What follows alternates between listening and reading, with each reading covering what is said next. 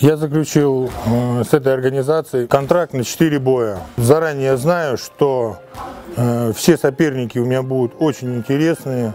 Э, каждый последующий будет лучше предыдущего. Все будут бойцы хорошие, известные, именитые. Ну, в принципе, то, что и хочет, и желает наш зритель, наша публика. Всем привет! Вы смотрите канал Труджим. Сегодня мы поговорим о следующем бое Александра Емельяненко. 5 мая в Екатеринбурге он выйдет против экс-бойца UFC Габриэля Гонзаги, того самого, кто отправил спать Мирка Кракопа его же коронным ударом – хайкиком. Но это было 10 лет назад, а сегодня Гонзага не выступает 2 года, и в своих последних боях он также особо не блистал.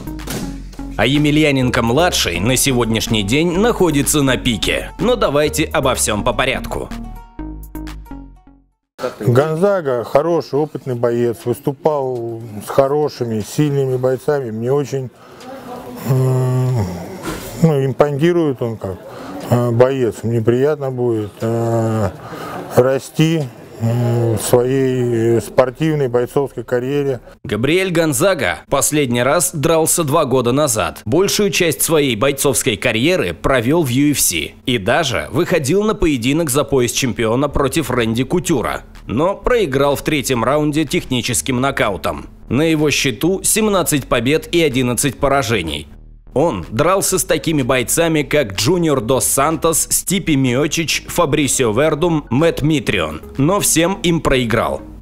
Гонзага – средний боец, но при этом его нельзя недооценивать. Он может как ударить в его послужном списке 7 нокаутов, так и сделать болевой или удушающий, в рекорде 9 сабмишенов. И что стоит отметить, только три боя бразильца дошли до судейского решения. Поэтому, если два года простоя Габриэль тренировался и залечивал травмы, то он может оказаться самым серьезным и опасным соперником Александра после его выхода из тюрьмы.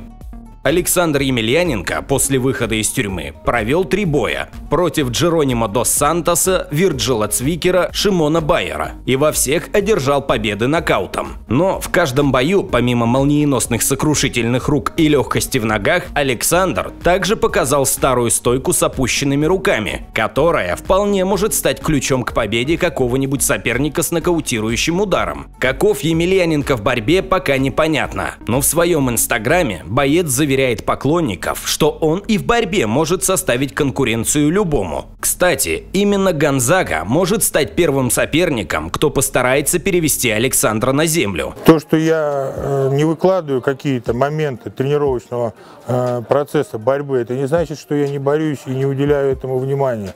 Я просто ну, не знаю, что показать. Как вот мы просто боремся, ну, это неинтересно будет людям. Вот. Какие-то Э, приемы разбирать, ну их тоже много, миллион всего.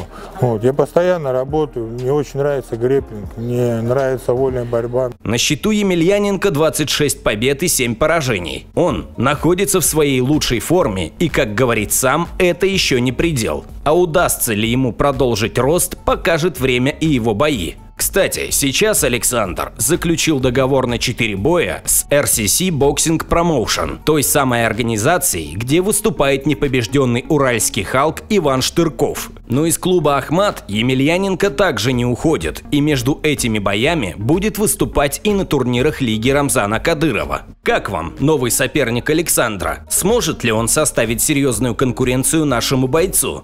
Пишите ваше мнение в комментариях. Не забывайте ставить лайк и подписываться на канал. Обзор подготовил Яков Летов, озвучил Свежинцев Роман. Спасибо за просмотр и до новых встреч на канале Труджим. Мне без разницы, кого побеждать.